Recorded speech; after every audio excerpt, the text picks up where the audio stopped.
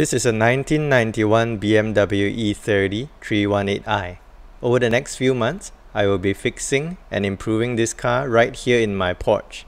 Subscribe to my channel to follow my progress on this project.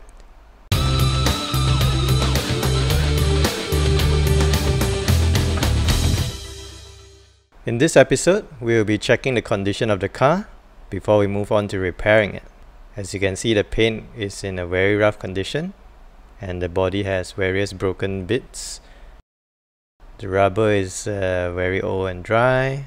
The side mirrors are not spared either.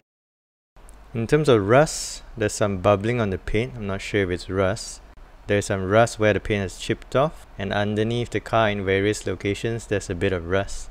But overall, rust doesn't seem too bad. Moving to the interior, we've got a 5-speed manual gearbox. As you can see the dash is completely cracked. The trim on the B pillar is uh, very badly damaged.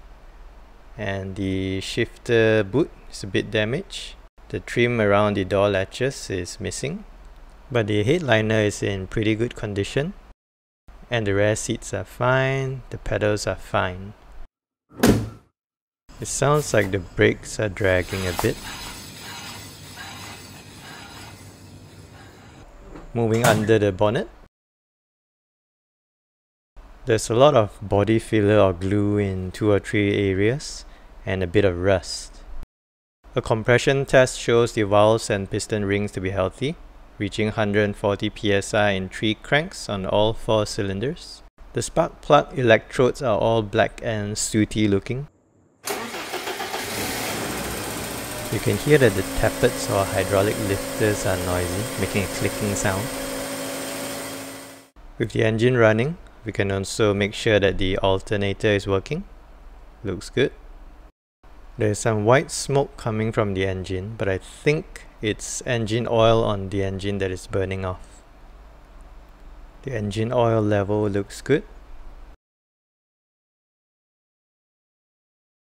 The coolant tank cap looks good. There's no sign of any oil.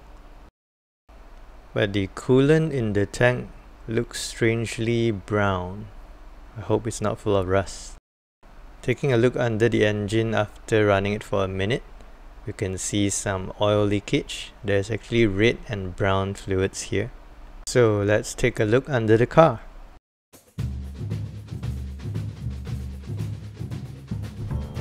You can see the oil pan has some old engine oil on it.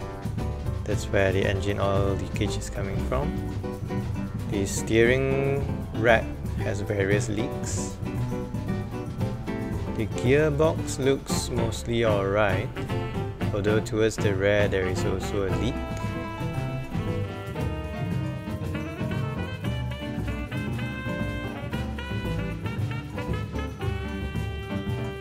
The long vertical bar in the center is the drive shaft, as this is a rear-wheel drive car. Here we're seeing the exhaust muffler. Guess this might be the cat.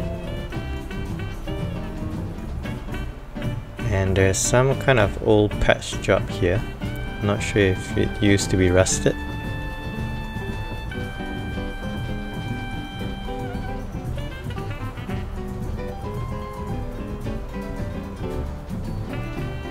and we are now looking at the differential sending power to the two rear wheels that looks good as does the drive shafts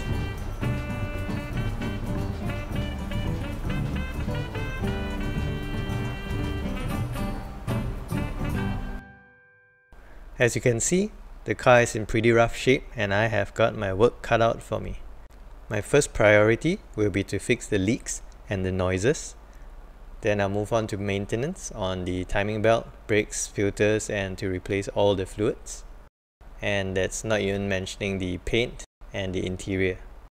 I will be doing as much of the work myself right here in my porch as I can, so please subscribe to my channel to follow my progress.